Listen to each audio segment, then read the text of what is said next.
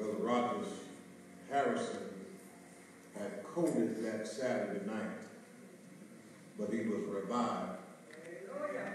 That Sunday evening, he coded again, and it didn't look good, but he was revived again.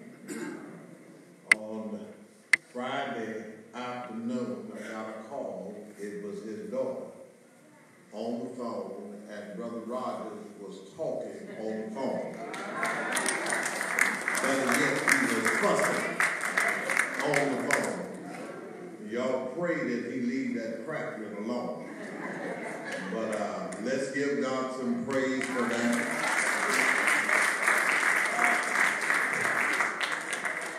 Sister Katie is here today. Let's give God some praise.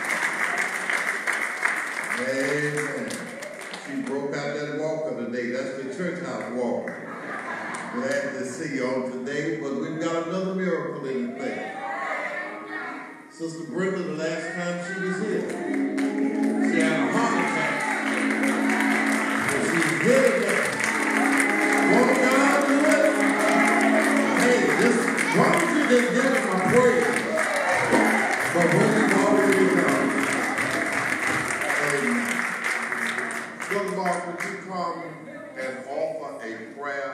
You do to pray, don't you? I know you can superintend. But would you offer a prayer of thanksgiving and a elected help of the body of Christ? We're glad to have you on today. Amen. Dear God, what a wonderful, wonderful opportunity it is just to stand before you. Father, it is a beautiful morning.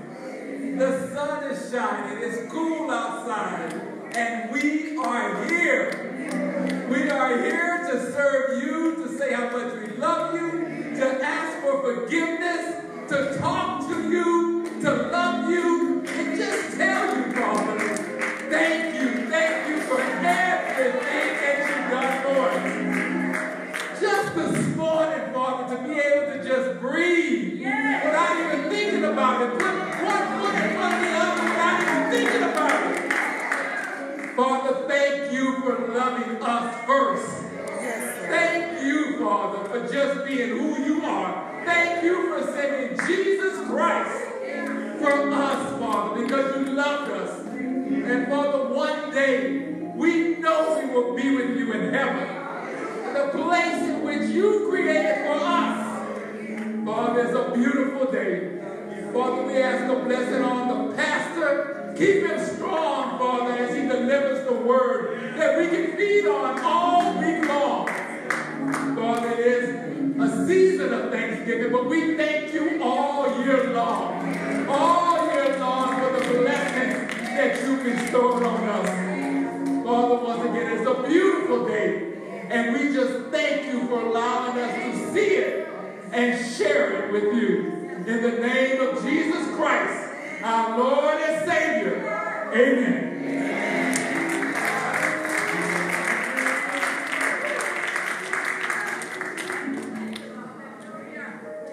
If you have your Bible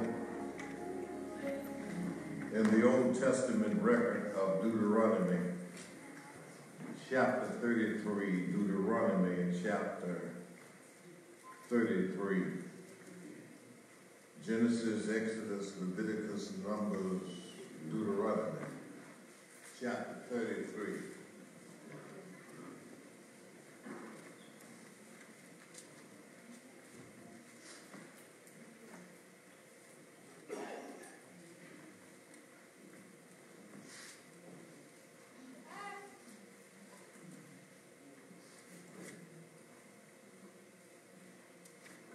chapter 33. I want to begin with verse 27 and we will conclude with verse 29. And when we read from the oracles of God, we see the promises of God. And we already know that the promises of God are yea and amen. In other words, if he said it, it's settled. And that's enough to shout over right there. So I want you to put yourself in the place of the children of Israel as this final benediction, this final promise of Moses is being uttered from his lips to them. And uh, if it strike your fancy, you don't have to wait for a cue to be pushed or prodded. If this promise meets your life, you ought to give God praise where you are and thank him for what he's doing. The eternal God is our refuge. And underneath are the everlasting arms. And he shall thrust out the enemy from before thee, and shall say, Destroy them. Israel then shall dwell in safety alone. The fountain of Jacob shall be upon a land of corn and wine. And also his heavens shall drop down dew. Happy art thou, O Israel, who is like unto thee, O people saved by the Lord. The shield of thy help, and who is the sword of thy excellence, and thine enemies shall be found liars unto thee, and thou shalt tread upon their places. So ends the reading of his word. Father, we pray as you have been faithful to do, we will trust you to do it again. Give ears to hear and hearts to receive. And because it is all about you, we'll be careful to give you the praise. Again, let the words of my mouth meditation of my heart be acceptable in thy sight through your eyes, strength and our Redeemer. It is in Jesus' name we pray. Amen. I want to speak from this subject this morning, a headliner for God's people. A headliner for God's people. Something that's highlighted and lifted for the people of God. Thank you, Rachel bless you today. Bible is a book of precious promises. It answers every need of man. And all we need to do is stay close to the book and listen to him and I guarantee you, there is a promise of God that will address every area of life. For the perplexities of life, that's when you have pain and problems. That's beyond your control. And I guess I don't need to say that if you live long enough, you're going to see your degree of pains and you're going to see your degree of problems. But be of good cheer. Because the same, the, the same Jesus who overcame the world will help us overcome every problem and pain in life.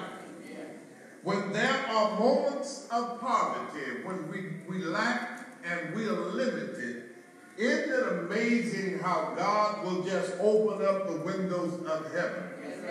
and you don't even know where the blessing is coming from. You don't know when the blessing is coming, but somehow, some way, it shows up and it's always on time. Y'all do know that God is in the blessing business.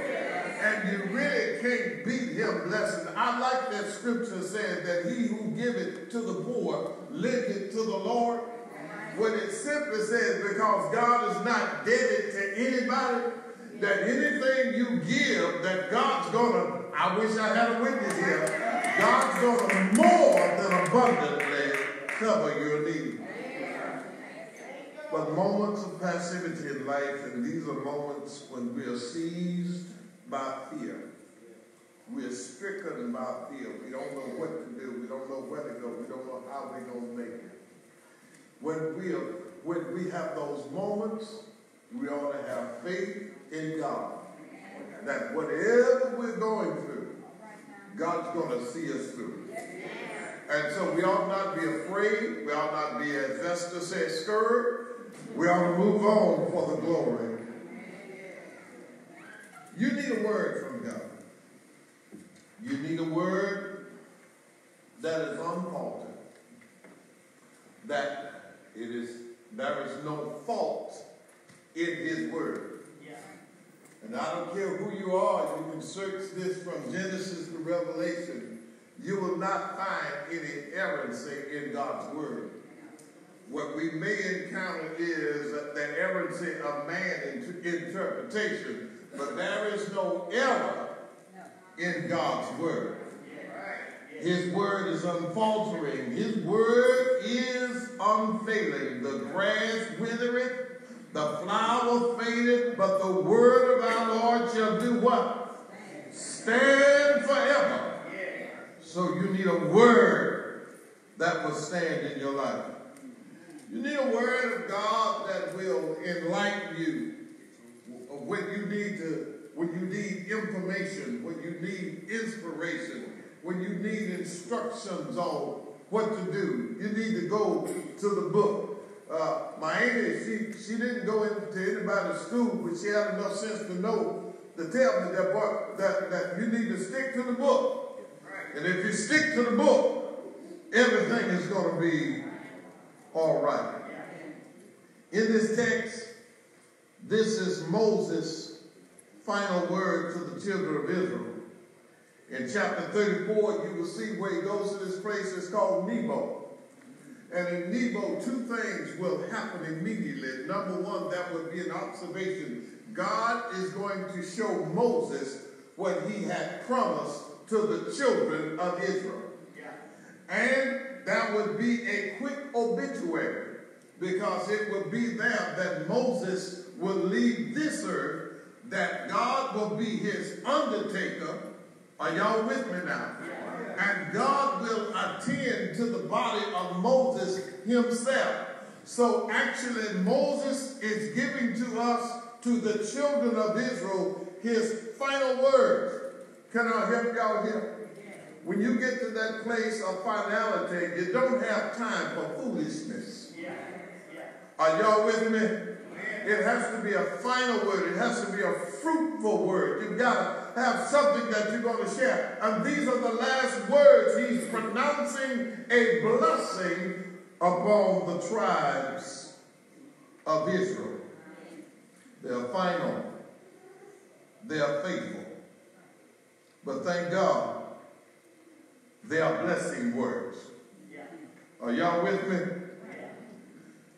He says to Reuben, this is the blessing. Live and not die and multiply. He says to Judah that his hands would be sufficient for his sustenance. He says to Levi, you have the role of a priest. You have a priestly garment and ornaments to serve, and you will be the teacher of the children of Israel. He says to Benjamin that you will dwell in safety, that because he's covered. He says to Joseph that God's going to bless his land. And the promise that went to Joseph poured over to Manasseh and Ephraim. That as Joseph will be blessed, Ephraim and Manasseh will be blessed. I am smart. I'm giving y'all some words you ain't never heard. Zebulon, he says to them, rejoice and go out. Can I help y'all here? Is that if, if you if you step out in praise, if every step you take is in praise to God, and why do you do that? Does it make sense? When you think about what the Lord has done for you, when you contemplate what he's going to do, and when you soak yourself in what he's doing in your life, every step ought to be a step of praise. Can I help you here this morning? That if you had to come here to get your praise on, you left your praise at the wrong place. But if you woke up this morning with your mind stayed on the Lord, you can step out in praise for who he is. Are you with me? He says, Issachar, he said, in thy tents you will be full. And check him out, that you're going to find hidden treasures in sand. That was a man, I was watching one of the uh, internet stories. Someone had dropped a ring in a field. And so he had one of those gadgets to find metal. He was looking for a ring. But guess what he found? He found a stash of gold. I wish I had a witness. I'm going to order me one of them on internet. Are y'all with me? And the scripture says that that that Issachar will find treasures that's hidden in the sand. Can I help y'all here? The, the, the treasure didn't get there by itself. God put the treasure there for the right time and for the right person. So when you get there, the blessing will be there waiting on you. He said to Gad, you'll be like a lion. He said to Dan, you'll be the son of a lion that leaps. Are you with me? He says to Naphtali, you will be satisfied with favor. That ought to be a shout right there. When you don't have finances and you got favor, you can make it. When you don't have good health but you got favor, you can make it. When you can't rub two nickels together, but God keep putting food on your table, you can make it with favor. Are you with me? Then he says to Asher that blessings will be upon your children. And then in chapter verse 27, he moves from the individual blessing to the collective blessing. And he begins in verse 26. Let me help you here. He begins by saying to the children, to, to, to, to the children of Israel collectively, there is none like our God. Are y'all with me? There is none like him who rideth upon the heavens, and his excellence is in the sky. Friday night, open out, coming from Houston from a funeral, and just, it was dark, and looking toward the east, we could see the moon rising in a beautiful array. She pulled out this camera while we drive. It just won't work. But it was just something to behold how beautiful it is.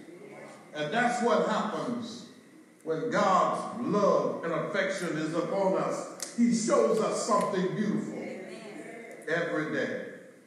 His excellence is in the sky. Here it is. What is this blessing that's highlighted?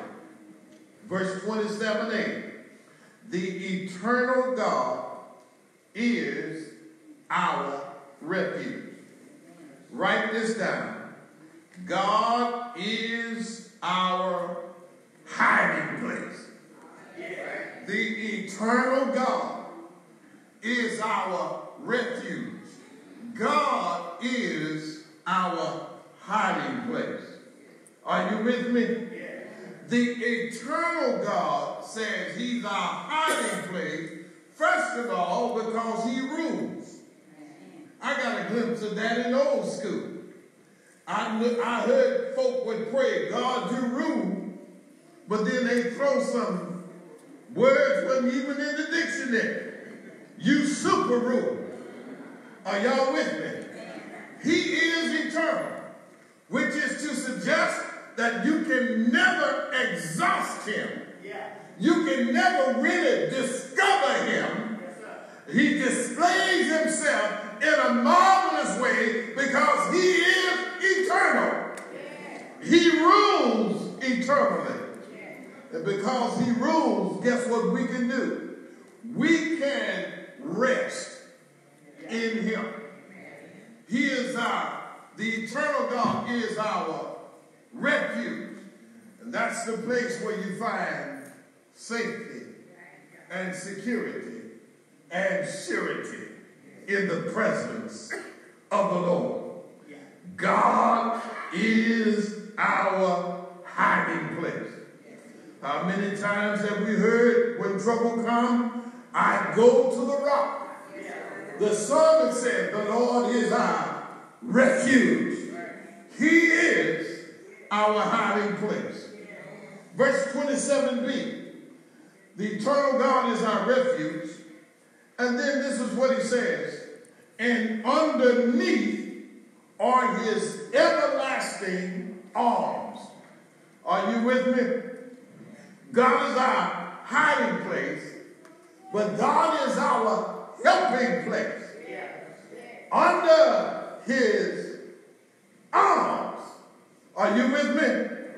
It says to me that he grips me. His grip supports me. That I'm in his hand. Not Allstate.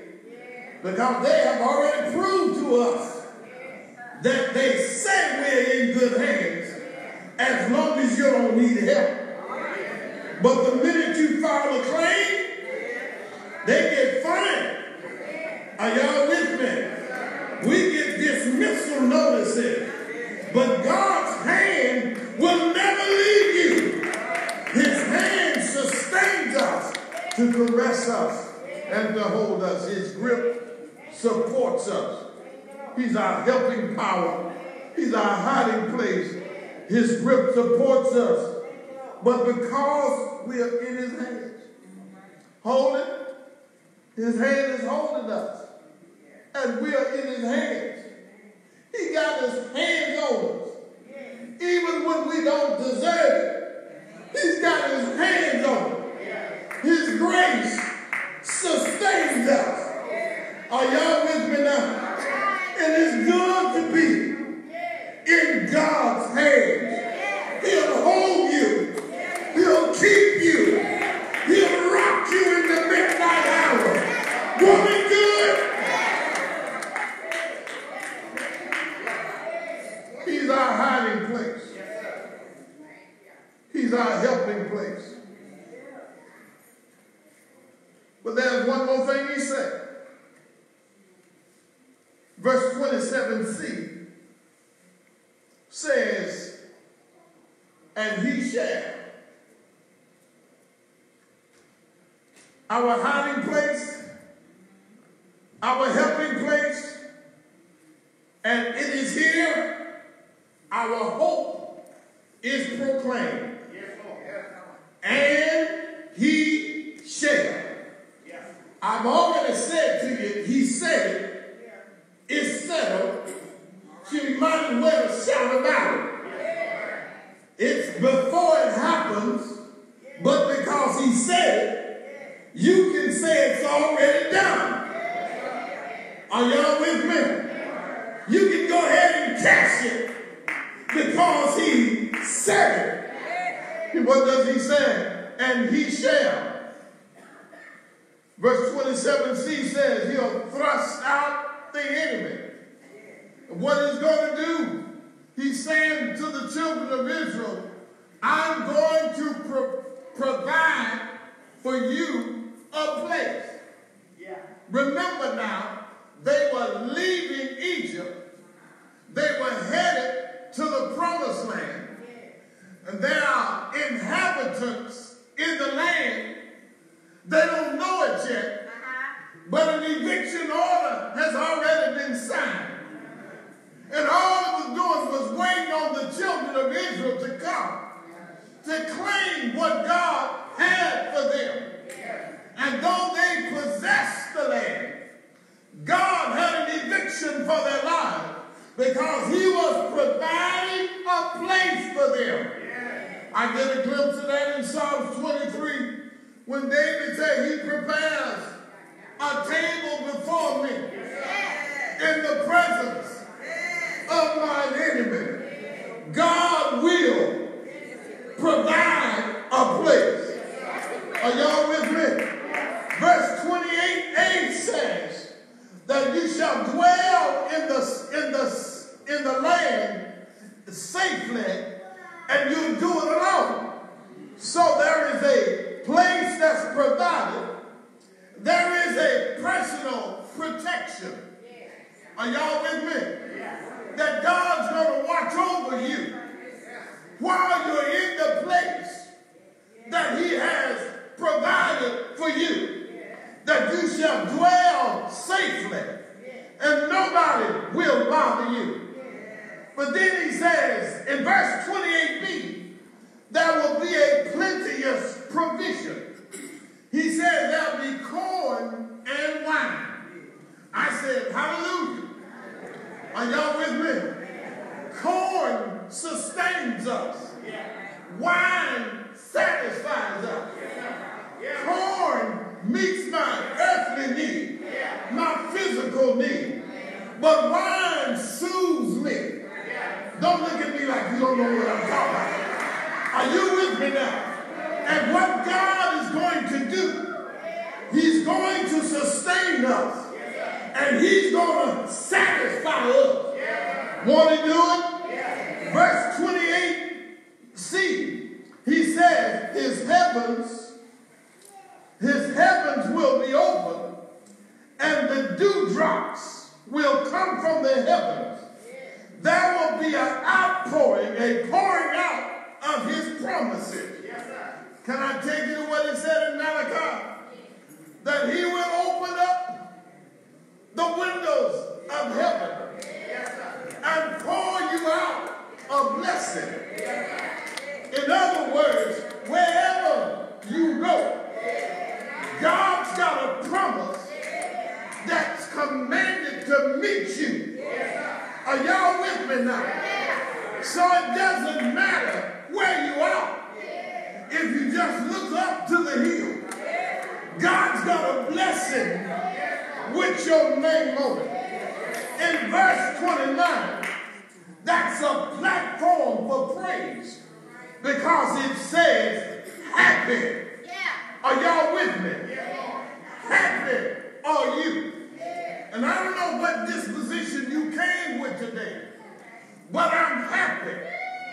Because every time I think of the goodness of Jesus, every time I think of the ways he made for me, every time I remember the healings that he provided along the way, every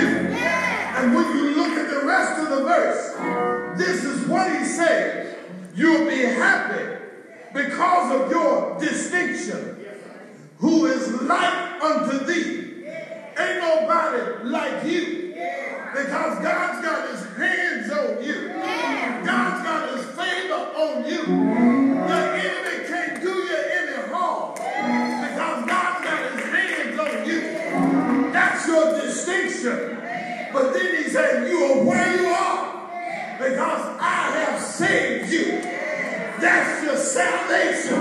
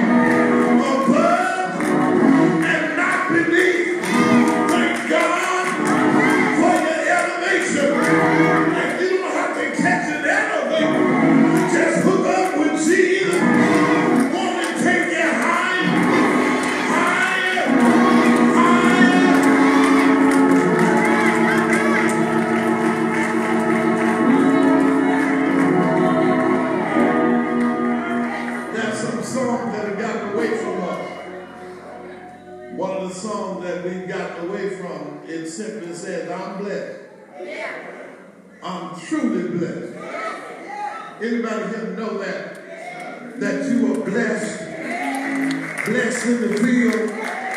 Blessed in the house. Blessed in the coming. Blessed in the going. I am blessed.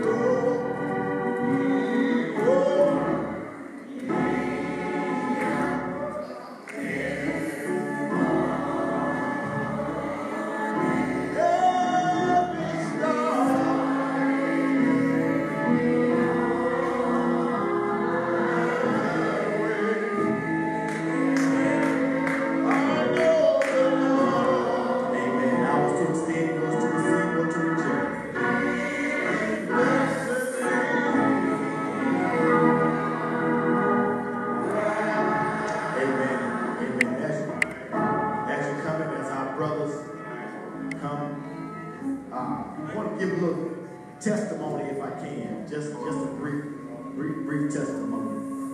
Uh, I was, you know, I, I, was on my way to church this morning, and uh, running a little late as usual.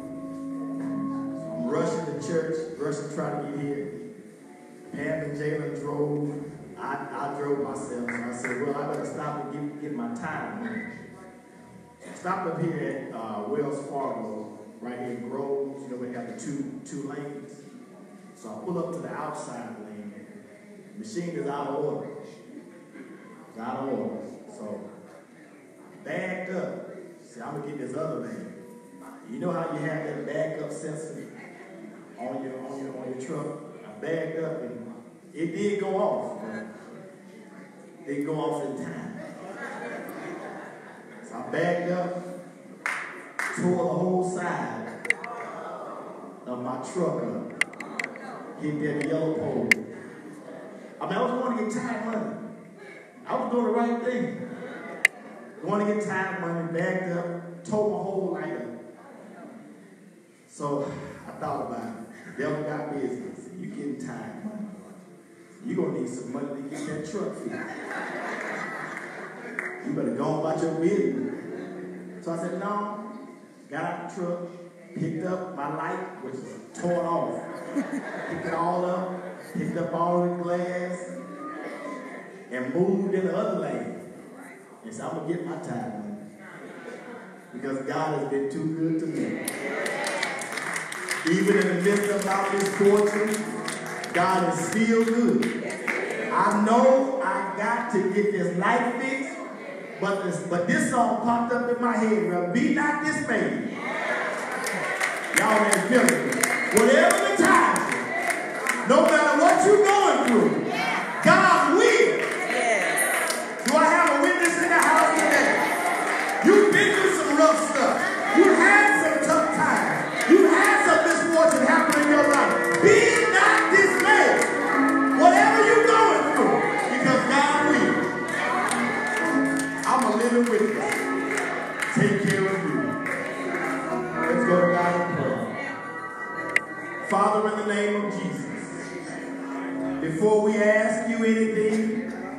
before we bring our petitions to you, before we lay our cares at your feet, we just want to say thank you. Because you've been better to us than we've been to ourselves. We just want to say thank you.